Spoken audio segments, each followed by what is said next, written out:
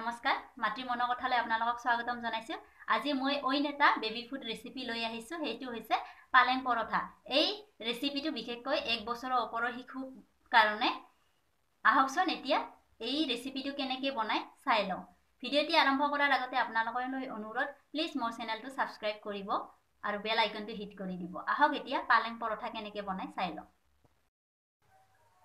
পালেং পৰঠা বনাবৰ কাৰণে এয়া মই পালেং লৈছোঁ। পালেং কাটি লৈছোঁ ধুই। এই ডাঙৰ বাতিৰে প্ৰায় এক বাতি পালেং লৈছোঁ। এই আটা লৈছোঁ আশীৰ্বাদ আটা লৈছোঁ। আটা সৰু বাতিৰে এক বাতিতকৈ অকণমান কম। আৰু মই পৰঠাখন ঘিত বনাম। এয়া মই অন্নপূৰ্ণাৰ ঘি লৈছোঁ। আৰু লগতে মই পালেংখিনি যেতিয়া মিক্সিত পিচিম তাত অকণমান পানী দি দিম। এয়া পানী লৈছোঁ। আহক এতিয়া পালেংখিনি। পিচি লওঁ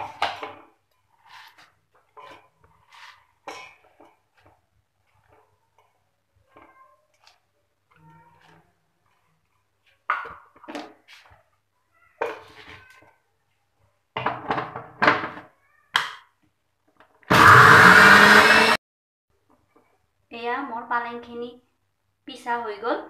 এতিয়া এইখিনিৰে আটাখিনি মঠিম। আহক আটাখিনি মঠি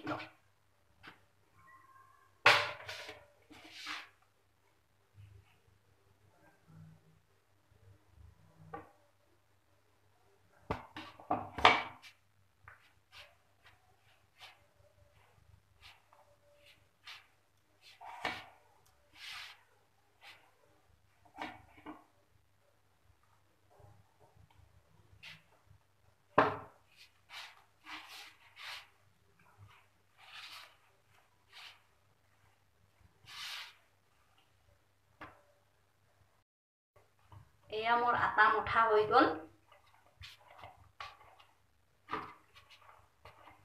এতিয়া ইয়াৰ লাড়ু বনাম সৰু সৰু দুটা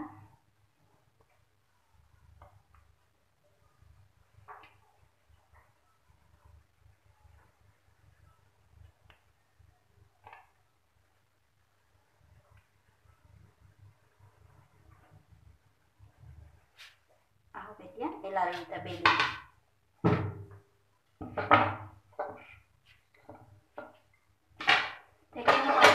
গ্যাসটা অন করে তাওয়া এখন গরম করে দিই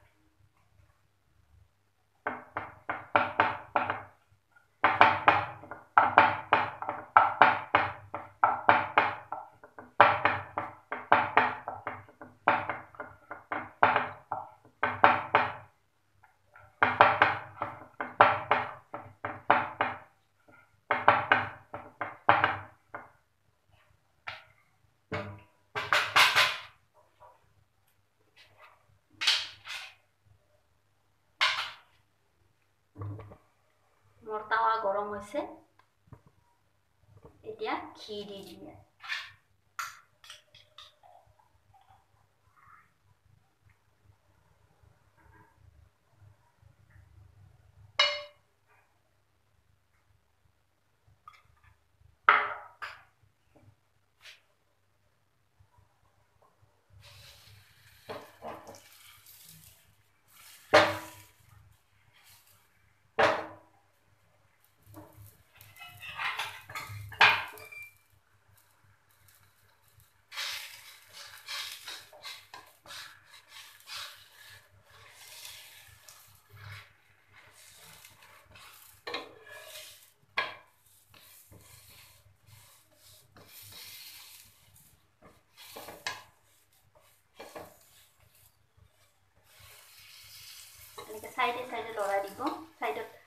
যিবিলাক বাগৰি আহে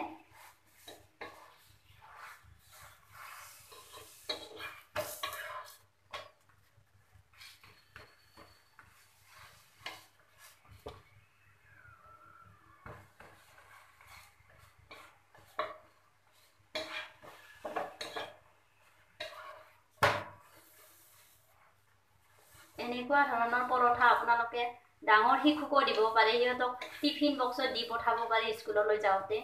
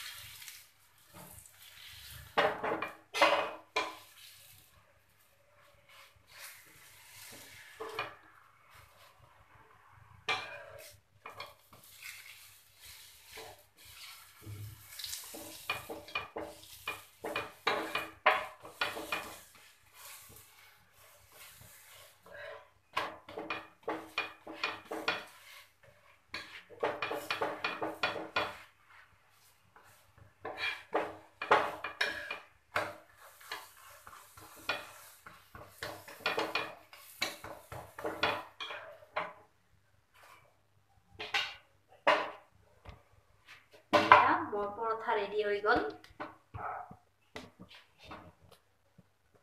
আশা কৰোঁ আপোনালোকেও পালেং পৰঠা বনাব আৰু আপোনালোকৰ শিশুসকলক দিব। ভিডিঅ'টি শেষলৈকে চাবলৈ নাপাহৰিব শেষত মই পালেঙৰ উপকাৰিতাৰ বিষয়ে জনাম।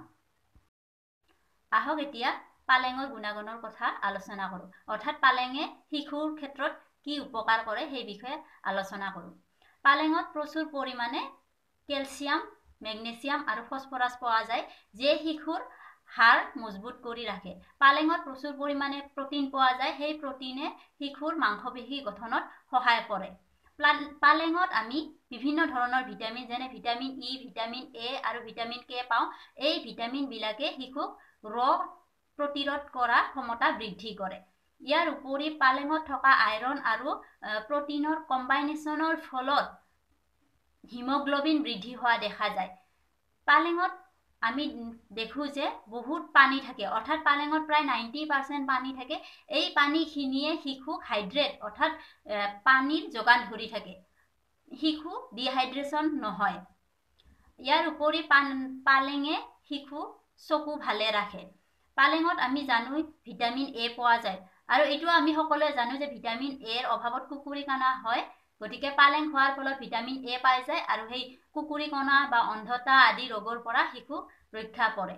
ইয়াৰ উপৰি পালেঙত থকা পানীৰ কাৰণে শিশুসকলৰ কনষ্টিবিউশ্যন হোৱাৰ আকাংক্ষা কম থাকে। পালেঙক আমি কৃমিনাশক হিচাপে ব্যৱহাৰ কৰিব পাৰোঁ। ইয়াৰ উপৰি পালেঙক আমি ব্ৰেইন ডেভেলপমেণ্ট কৰা খাদ্যৰ ভিতৰতো ধৰিব পাৰোঁ। আহক তেন্তে আপোনালোকে আপোনালোকৰ শিশুসকলক পালেং দিব। পালেং খুৱাব আৰু আপোনালোকৰ শিশুসকলক সুস্থ কৰি ৰাখিব। ধন্যবাদ।